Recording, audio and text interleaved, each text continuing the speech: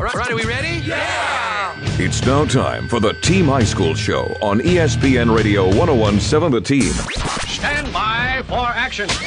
The Team is your home for the best coverage of high school sports anywhere. Here to bring you the show is Gary Herron. He's sexy, sassy, and full of spunk. Right here on E ESPN Radio 1017 The Team, the flagship station for APS Athletics.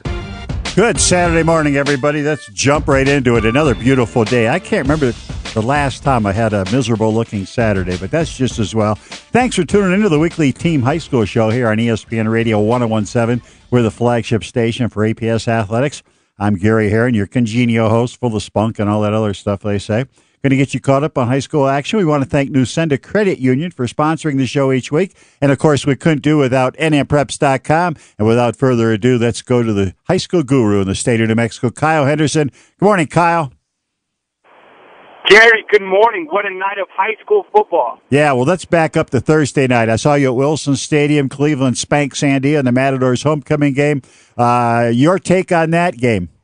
It was a boring game, honestly. I mean, I, I felt the wind had a lot to do with it.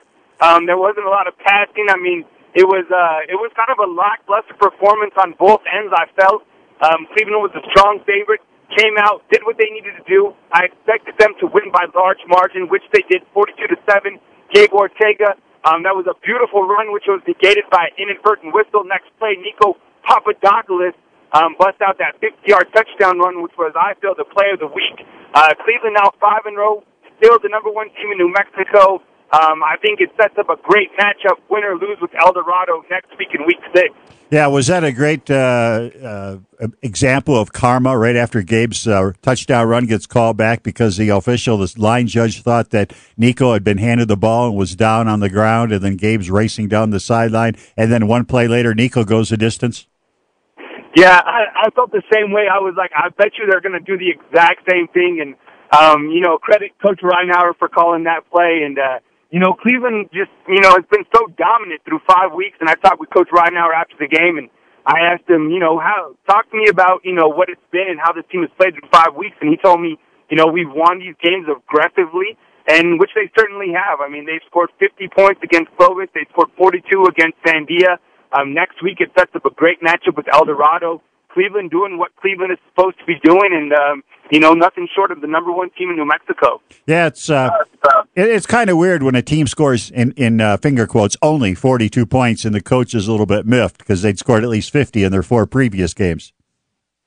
Yeah, I would say so. I mean, I, I think that's just the expectations that Coach Ridenour as well as the team have for themselves. I mean, they're coming out as 21 point, 28 point favorites against teams. And even though, you know, nobody wants to be number one and you can't read into it, you're going to. I mean, it's the media and, uh, Cleveland knows how good they are and how capable they are. And, um, you know, they've been dominant this season and everybody expects them to ride out undefeated. And I'm not sure if they will, but right now they're just playing at another level and they're the clear cut number one. Yeah, and uh, talk a little bit about a blast from the past on the Cleveland sideline the other night. A uh, star contributor to the Perfect Storm, 13 and 0 team of 2011, Romel Jordan.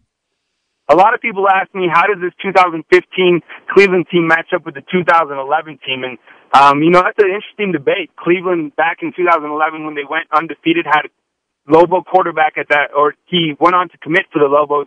Cole Gautsche at quarterback, six four, two hundred, what was he, 20 pounds, and he was just running every, running over everybody. And then Ramil Jordan, um, was a fantastic asset. He's a 4-3 guy. So very comparable teams, big offense, tons of defense. Yeah, now Romel with the Lobos, he's kind of uh, been reduced, didn't get any carries last week. Uh, did you talk to him about uh, what the future holds for him at UNM?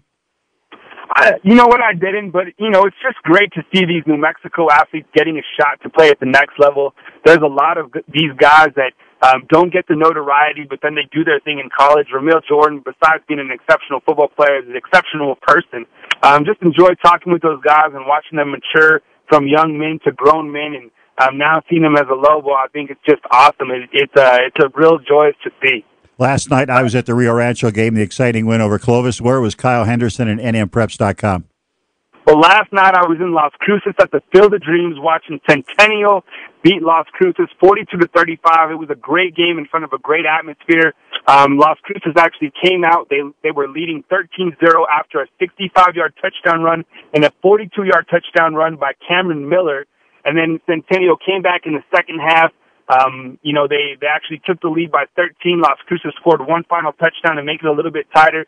It was a close game all the way around. Those two teams are very good. I think Centennial has some, has an opportunity to do something very special this year, and that's win coach Aaron Ocampo his first ever state championship. Yeah, uh, they're the number one team in 5A, I would imagine. Yeah, I, I think so, but you know, you have the Artesia Bulldogs as well, who we can't forget about. I mean, Right. last night The they beat College. the Carlsbad Cavemen, and um, I was down in Artesia a couple weeks ago, and they're excellent. I mean, quarterback Justin Hodling last night, he threw for he was 34 for 54 passing for close to 300 yards and three touchdowns. Um, you know, he's a fantastic quarterback. Still kind of wondering why he doesn't have a Division One offer. He certainly looks the part. Well, are there any drawbacks in his form, or is he getting a lot? Of, is he doing a lot like Easton Brewer did uh, and not getting recognition? You you know what? That's a that's a very um, interesting comparison. I think that um, Easton Fry had some better targets on the outside, but Justin has probably better physical tools in the sense that he's six five, close to two hundred pounds, um, and you know he he plays in that spread set just like Easton did. But it's a very comparable comparison, and I'm not sure. Um, what he's going to do next year, but I think he's going to have some opportunities. If it isn't at the Division One level, someone's going to give him a shot. Did you stay down in Las Cruces to see the uh, the big game down there today, the uh, Mayfield contest? Mayfield and El Dorado at one. Yeah, there's some big contests in uh, in Las Cruces today. So you have the big game last night between Centennial and Las Cruces, and then today you have El Dorado, who's four and zero on the season, taking on three and one Mayfield. The Trojans coming off a 46 to 28 loss last week to Alamogordo, and then following that game, it's a double dip as you have Oñate, who's looking for their first victory. They're taking on West Mesa for their homecoming game, so it's a double dip at the Field of Dreams today. Yeah, but my question was: Are you are you down in Las Cruces still?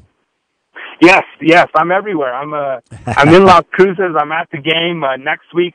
I'll probably be in the metro area for Cleveland, El Dorado. Um, but uh, yeah, I've been on the road lately. What about La Cueva? Do- They're not going to make the playoffs. What I'm looking at, of course, they're they're undefeated in district, but uh, I don't think the Bears are going to make the 12 team playoff field. Yeah, I don't think so either. And I think I think probably La Cueva likely got eliminated. I know district hasn't taken play, but a lot of these early season matchups contribute to where the NMA seeds the teams in the playoffs. Um, La Cueva losing a game last night to Valley. Valley likely is going to win that district. I would assume in five six A. Um, Enrico Marcelli and the Vikings getting their first win last night over La Cueva, 18 to 15. You also have Cibola surviving against Manzano. I think that was somewhat of a playoff play-in game um, for the 12-team set. That was an overtime win by Cibola, 27 to 20. Rod Williams, you know, I have to give credit to him.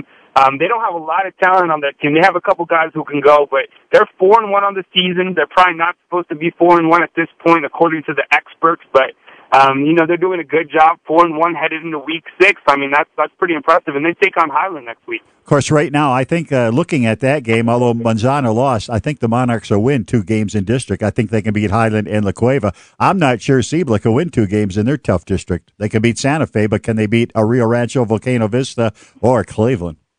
Yeah, I, I, I would agree with that. But the way it sets up, if they beat Santa Fe and if they beat Highland, they'll be six and four by the end of district. Even if they did lose three district games, then they have a win over Valley and they have a win over Manzano. So Yeah. depending on where those teams fall, you know, Cibola could be that 12th team in and maybe land up with a 10 seed or a 9 seed somewhere along that. Plus, they only lost to Clovis 14 to 6, and Clovis has turned out to be pretty good this year. Yeah, I tell you that Micah Gray's an exciting guy to watch. Over 200 yards, three touchdowns last night uh, against Rio Rancho. I'll talk about that game in a little while. The Rams win that one 37-34. Uh, a note for you, although you probably already knew this, uh, and I know you knew Henry Haddis gave a verbal commitment to Stanford, and Grant Hermans gave a verbal commitment to Iowa State, but there was an Iowa State assistant coach on the sidelines watching Grant Hermans and the Rams last night. Wow, that's that's got to be pretty exciting. And one thing that that I really like is when these Division One coaches come to see their committed prospects, other guys get a chance to to shine. Right. For example, he's going to look at Micah Gray, who ran for over 200 yards as a junior. He's going to get an opportunity to see Josh Foley, who's also a junior, who I hear had a big game. He's going to see a kicker. So. You know, that's what happens in some of these larger metro areas is when the college coaches come to see their prize recruits, they're going to keep tabs on a couple other guys who shine who, who stand out, and um, you know that's that's great. I mean, Grant Hermans, as we talked last week on the show, he's a great human human being. I mean, he's everything that you would want your son to be. And going to Iowa State, I think, is a great is a great opportunity. Kyle Henderson, NMPreps.com. Right now, your pick, your comments on what you forecast. Look in the NMPreps.com crystal ball. Eldorado Mayfield. Who wins that one and why? I think Mayfield will pull it out. I mean, we've seen Mayfield lose games in the past. You know, a couple years ago they lost to Carlsbad, rebounded. A couple years ago they lost to Volcano Vista, rebounded. I'm I'm taking Mayfield today to beat the El Dorado Eagles, and I have nothing to do because I don't like El Dorado. I could care less. But I think the Mayfield Trojans at home win today a very tight contest. Isaac Vance, he's still questionable. Last week, I heard he was sick. I heard it was his ankle. I'm not sure if he's going to play today. If he plays today, Mayfield wins. They continue to do what they do. El Dorado, though, very dangerous. The best team in Albuquerque metro area. Expect Noah Schweitzer to do his thing. Last week, he ran for 150 and three touchdowns. And last night on uh, NM or uh, Game Day on Channel Four, there was a nice little segment on Schweitzer and uh, how he got hurt last year in a game against Cleveland. Lacerated a kidney, had to have an operation, nearly lost his life. Uh, a good story. Noah Schweitzer. Good luck to El Dorado uh, today at Mayfield. Good call, uh, Kyle. And uh, thanks again. We'll talk to you next week. Kyle Henderson, the guru high school football. He knew he knew all the scores. He knows all the sizes. He doesn't have a chock full of information in front of him. But uh, have a safe trip back. Enjoy the game today. And we'll talk to you next Saturday, Kyle. Thank you. All right, that's Kyle Henderson. Nobody does it better when it comes to high school football. And we'll we'll hold him to this next week. We'll ask him. Well, Mayfield won, just like you said. They'll pull it out, maybe a field goal or something, or maybe Isaac Vance is back on the field predicting Mayfield beats El Dorado. And El Dorado's got that big game Friday night, the Storm coming. We've reached the end of the first quarter. We're going to take a break. We got uh, Scott Galletti going to talk some more high school football and a little high school volleyball after this. You're listening to the Team High School Show. I'm Gary Herron. Stick around for the second quarter. It's on deck after this timeout.